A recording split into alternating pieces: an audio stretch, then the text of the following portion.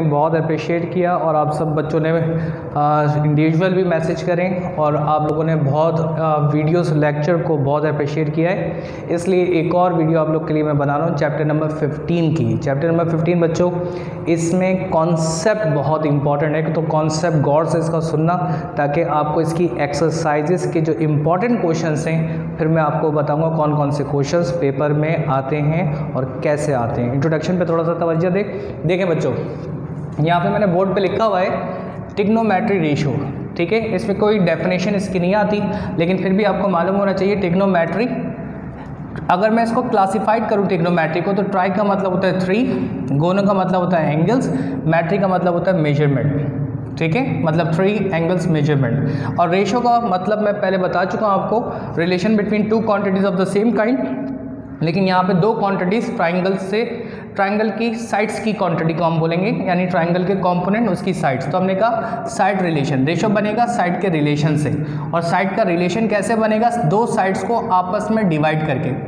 ठीक है साइड्स को क्या करके बच्चों? डिवाइड करके। ठीक है तो हम साइड्स को डिवाइड करेंगे तो क्या बनेगा? रिलेशन बनेगा। ठीक है जी? और हर रिलेशन का इस यूनिवर्स में एक नाम होता है, एक पर्टिकुलर नेम होता है। तो रिलेशन का क्या नाम होगा? वो अपने दिमाग में बिठा लेना और इस पूरे चैप्टर में उसी रिलेशन से ही सारे क्वेश्चन सॉल्व होते हैं। ठीक है? देखो बच्चों, यहाँ पे मैंने ट्राइंगल्स बनाए। एक, दो, तीन।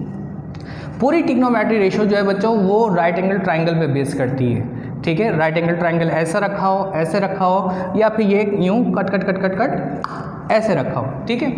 इस ट्राइंगल को मैंने नाम दे दिया जैसे ए बी सी ठीक है? पी क्यू आर ठीक है? एक्स वाई जी ये ट्राइंगल को मैंने नाम दे दिया। ठीक है? बच्चों, ये जो राइट एंगल है, इस राइट एंगल के अपोजिट जो साइड होती है राइट एंगल ट्राइंगल की खासियत, उसकी प्रॉपर्टी ये, हर साइड का एक पर्टिकुलर नेम है। उस नेम को दिमाग में बिठाएँ। राइट एंगल के सामने और ट्राइंगल की सबसे बड़ी साइड को हाइपोटेनियस साइड कहा जाता है, ठीक है? तो इसका मतलब ये राइट एंगल है। तो इसके सामने अपोजिट टू द 90 डिग्री और ट्राइंगल की सबसे बड़ी साइड क्या कहा मैंने? अपोजिट टू 90 ये बच्चों 90 है। अपोजिट टू 90 डिग्री और ट्राइंगल की सबसे बड़ी साइड को हाइपोटेनियस कहा जाता है। इसका मतलब हाइपोटेनियस की जगह चेंज नहीं होती, ठीक है? आपको सिर्फ़ पहचानना होता है रिकॉग्नाइज करना होता है बेस को। और बेस को कैसे पहचानते हो? एंगल से पहचानते हो। अगर बच्चों एंगल आपके पास गिवन है तो आप बेस पहचान लेते हैं। मिसाल के तौर पर आपको एंगल बी दिखाया जा रहा है तो एंगल बी कोई ओरली तो नहीं दिखाएगा। कोई ना कोई उसका निशान होगा, कोई सिंबल होगा, उस सिंबल से आपको एंगल बी दिखाया जाएगा। और वो सिंबल वो निशान क्या है बच्चों? एक ये सिंबल है मतलब अल्फ़ा, दूसरा ये, तीसरा ये, चौथा ये।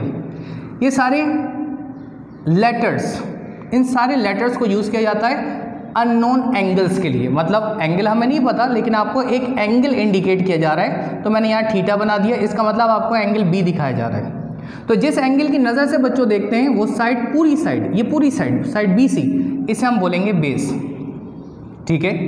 अब मिसाल के तौर पर यहाँ पर, अब एंगल मैं यहाँ नहीं बना रहा एंगल यहाँ बना रहा हूँ। आपको यहाँ एंगल दिखा रहा हूँ, इस जगह पर। ठीक है?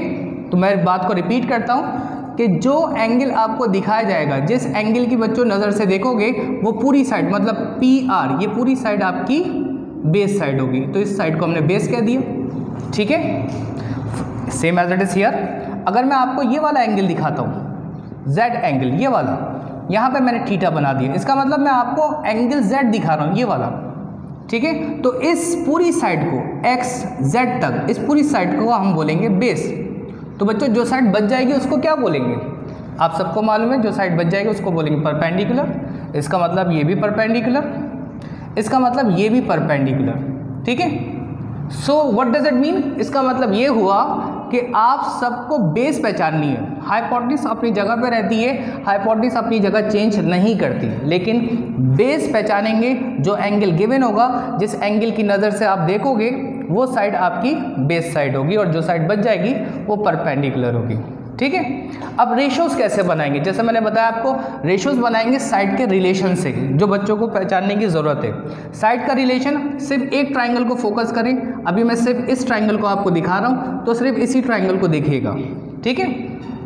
अगर मैं साइड ए सी को, बच्चों साइड ए सी को, अगर साइड ए बी से डिवाइड करता हूँ तो मुझे बताओ इन दोनों साइड्स का नाम क्या है?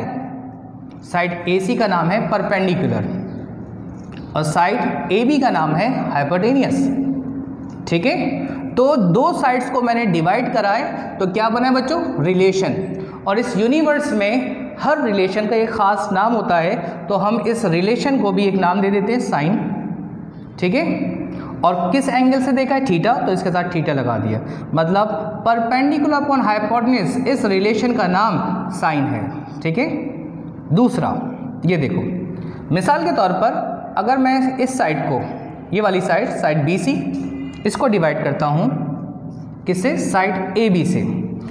तो मुझे बताओ साइड बी सी का नाम क्या है? बेस और साइड ए बी का नाम हाइपोटेनियस तो जब बेस अपॉन हाइपोटेनियस को डिवाइड करेंगे तो इस रिलेशन का नाम क्या होगा?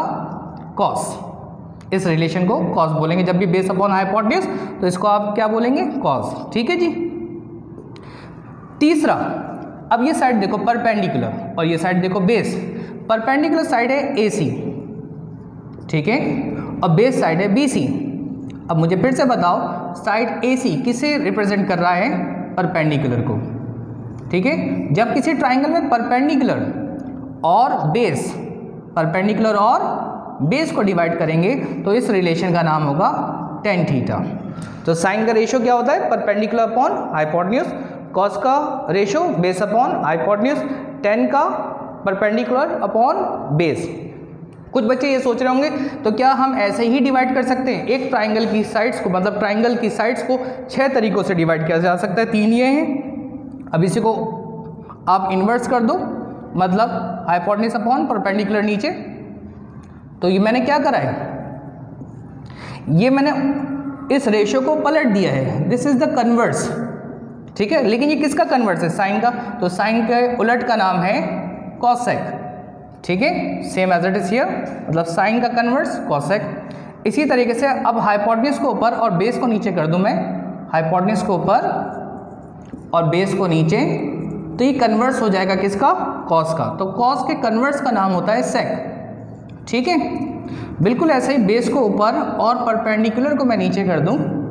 ठीक है? तो बेस को ऊपर और परपेंडिकुलर साइड को नीचे तो इसको बच्चों बोलेंगे कॉट ठीक है? इसका मतलब टेन का कन्वर्स है कॉट सिर्फ़ आपको साइन कॉस टेन अगर याद होगा तो ये खुद ब खुद बन जाएगा, क्योंकि उसी रेशो को आप क्या कर दोगे?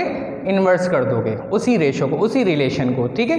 तो अब सबके जहन में ये आता है कि साइन को कैसे याद करेंगे साइन बराबर होगा परपेंडिकुलर अपॉन हाइपोटन्यूज के कॉस बराबर होगा बेस अपॉन हाइपोटन्यूज के टेन बराबर होगा परपेंडिकुलर अपॉन बेस के।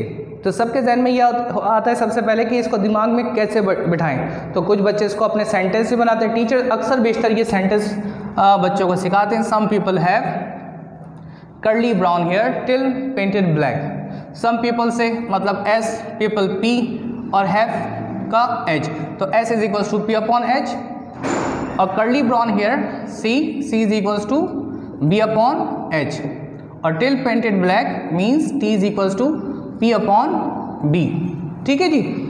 अब अपनी मर्ज़ी के भी आप जुमले बना सकते हैं, जैसे कि देखो।